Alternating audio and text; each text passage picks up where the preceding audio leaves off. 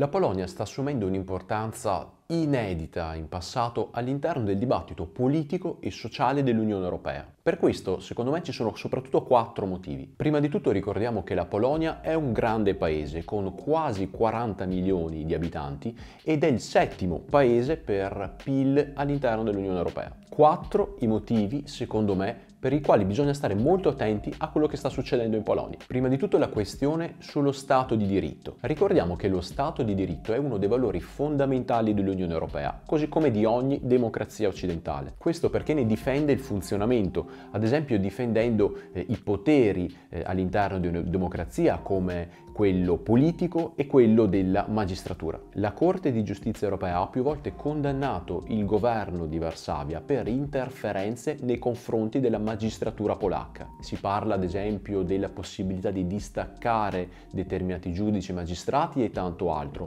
tutte azioni che fanno temere a Bruxelles la possibilità di un controllo politico della magistratura del paese. Una situazione secondo la Corte di giustizia europea così preoccupante che ha stabilito, pensate, una multa da un milione di euro al giorno per ogni giorno in cui Varsavia non rimetterà a posto la situazione. Poi c'è la questione immigrazione. Ricordiamo che Varsavia è sempre stata contro ogni tipo di accoglienza di extracomunitari all'interno dell'Unione Europea. Si è opposta ad esempio al sistema delle quote di ridistribuzione di migranti proposta dalla Commissione Europea e oggi sta picchiando duro nei confronti dei migranti che stanno cercando di entrare all'interno dell'Unione Europea passando dalla Bielorussia. Poi la legge sull'aborto. Sostanzialmente ad oggi in Polonia è proibito abortire anche in caso di malformazione del feto, ad esempio. Una pratica permessa soltanto in caso di stupro, incesto o pericolo di vita della donna. Il risultato è che tante donne polacche cercano di abortire illegalmente, mettendo in questo caso veramente a rischio la propria vita. Senza dimenticare che il diritto di aborto è uno dei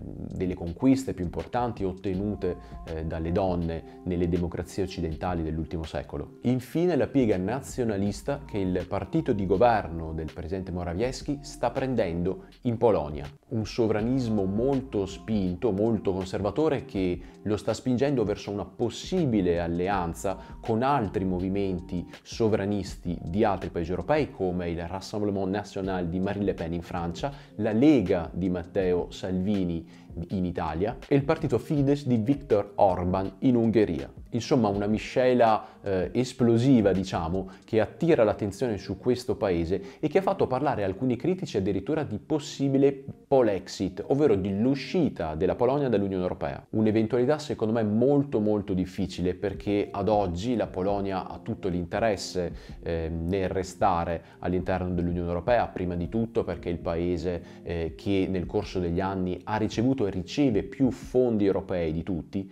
e secondo perché è un paese che beneficia del far parte del mercato unico eh, per quanto riguarda la libera circolazione dei lavoratori, la delocalizzazione di tantissime industrie che hanno appunto riaperto in Polonia e tanto altro. Insomma un interesse più economico e commerciale che eh, sociale e basato sui valori, diciamo. Ecco quindi che secondo me un'attenzione particolare va prestata a questo paese e a come evolverà nel corso degli anni. Un paese laboratorio di tante dinamiche sociali, politiche ed economiche che potrebbero un giorno verificarsi anche in Italia e in altri paesi europei.